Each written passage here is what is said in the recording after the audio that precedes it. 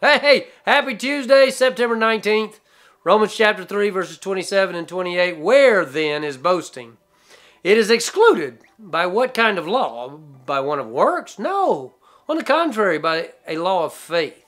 For we conclude that a person is justified by faith apart from the works of the law. Uh, with, with regard to righteousness, let's really consider this. What can we do? I mean, what can we really do with regard to righteousness? Where can we boast? I mean, what is what is our standard for boasting? I mean, really, I asked it this morning when I was preaching. Uh, uh, can I say, okay, I, I, I'm, I'm pretty special because I'm better than him?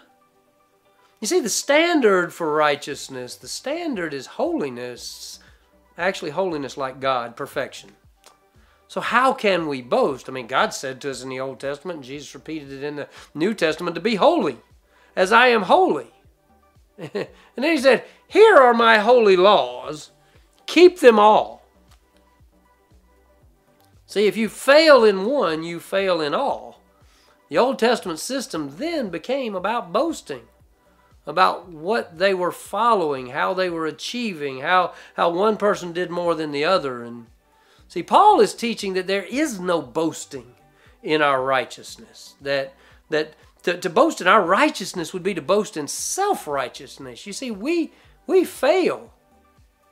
We fail God. We fail ourselves. And you know, is there any law that we can boast in? Paul tells us where we can boast. we can boast for tomorrow. You see, when we start talking about this passage right here, Paul reveals to us where we can find boasting, but we don't get to that one until tomorrow. We can't boast in some works of the law. That's what Paul's warning against because he's speaking to a primarily Jewish audience.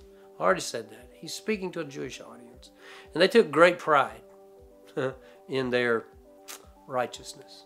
Romans 3 27 and 28. Where then is boasting? It's excluded. By what kind of law? By one of works? No, on the contrary, by a law of faith. For we conclude that a person is justified by faith, apart from works of the law. This is a fun little verse. We're going to enjoy it. See you tomorrow.